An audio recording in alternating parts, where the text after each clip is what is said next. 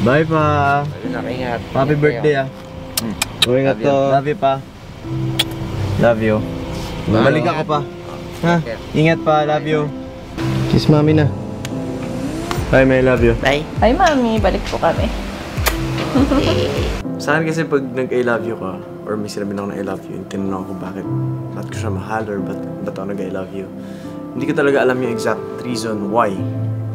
Okay, I just love the person, I'm just filled with love, and yung pagsabi ko ng I love you is just overflowing. Love you ba? So, hindi ako nahiyang sabihin yun in front of many people, lalo na sa tatay ko, sa family ko, kay mommy, daddy isisigaw ko pa yun kahit nasa mall kami, kikis ako before ako I, before I leave. Kasi um, not because pinalaki ako ng tama, not because binibigyan ako ng pera, hindi dahil sinusunod ako, pero the main reason why I love the person is, I don't know. So, if nafe-feel mo yun, if you're filled with love, overflowing with love, hindi mo na siya iisipin, it just comes out. So, most of the time, hindi natin nasasabi yun because of the hatred na meron tayo inside of our hearts.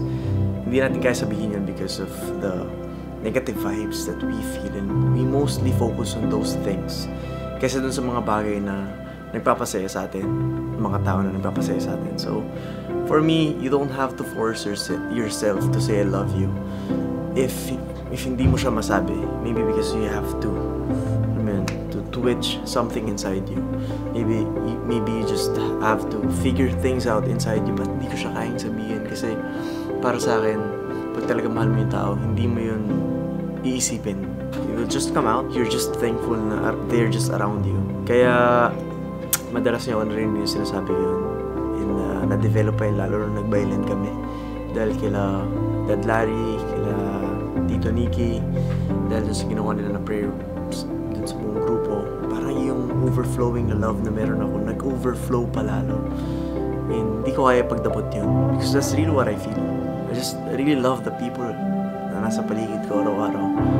And uh, makita yun through actions. Hindi, mo ipipilit yun. It will just show up. So, hindi mo kailangan ng dahilan. Just say I love you because you love the person.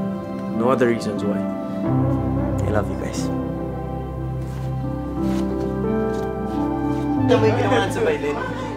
Ano mo? Niyakap mo lahat, di ba? Nag-I love you ka pa. Gawin mo, lagay mo lang ngayon ulit. Ah, Yapin mo. Coach, may camera, coach. Hug lang si Papa. Ayan o. Love you, coach. Yeah.